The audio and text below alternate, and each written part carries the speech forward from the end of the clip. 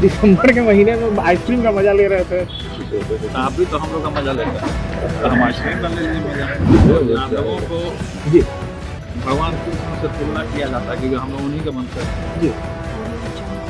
मान सम्मान यादव को मिल रहा है। तो। नमस्कार मैं स्वीटी और आप देख रहे हैं द एस टी न्यूज़ राजद सुप्रीमो लालू प्रसाद यादव के बड़े लाल यानी कि बिहार के वन एवं पर्यावरण मंत्री तेज प्रताप यादव सोनपुर के हरिहर क्षेत्र मेला पहुँचे, जहाँ उन्होंने वन विभाग के द्वारा लगाए गए प्रदर्शनी स्टॉल का उद्घाटन किया। वही विभिन्न स्टॉल पर वो जा जाकर कुछ न कुछ खाते हुए भी नज़र आए। आपको बता दें कि विभिन्न जो वहाँ पे जो दुकानें लगी हैं, वहाँ तेज प्रताप यादव पहुँचे। वही साथ ही साथ बता दें कि मेला भी घूमते हुए नज़र आए हैं, साथ ही वो आइसक्रीम खाते हुए भी दिख रहे हैं। आपको बताते चले कि जब उनसे मीडिया कर्मियों के द्वारा सवाल किया गया कि मध्य प्रदेश में मोहन यादव को नए सीएम बनाया गया है। क्या कहेंगे? उन्होंने सीधे तौर पर कहा कि यादवों को सम्मान मिल रहा है और यादव वन- यादव जो होते हैं वो कृष्ण के वंशज होते हैं तो कहीं ना कहीं इन्हें अब जो है सम्मान मिल रहा है। ये बहुत ही खुशी की बात है बहुत ही अच्छा लग रहा है।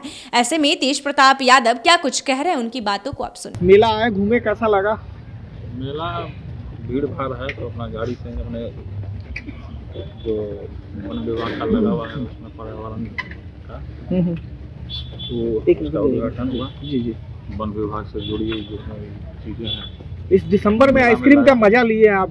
हाँ? दिसंबर के महीने में आइसक्रीम का मज़ा ले रहे थे। आप भी तो हम लोग का मज़ा लेते हैं। तो हम आइसक्रीम का ले लीजिए मज़ा। अच्छा ये जो जो ये यादव मुख्यमंत्री बनाया गया है मध्य प्रदेश में तेज प्रताप जी आपको लगता है कि यादवों को साधने की राजनीति भाजपा की है? यादवों को जी। भगवान कृष्ण से तुलना किया जाता है क्योंकि हम लोग उन्हीं का वंशज हैं। जी। मान सम्मान, यादवों को मिल रहा तो तो आपने साफ़ तौर पर सुना कि तेज प्रताप यादव ने सीधे तौर पर मुस्कुराते हुए कहा कि यादव समाज, कृष्ण के वंशज होते हैं और यादव को सम्मान मिल रहा है। तो बहुत ही अच्छा लग रहा है, बहुत ही खुशी की बात है कि मोहन मोहन यादव को मध्य प्रदेश के नए सीएम बनाया गया है और वो आज अपना पद का शपथ ग्रहण भी लेंगे और ऐसे ही तमाम खबरों के लिए देखते रहें देश न्यूज़।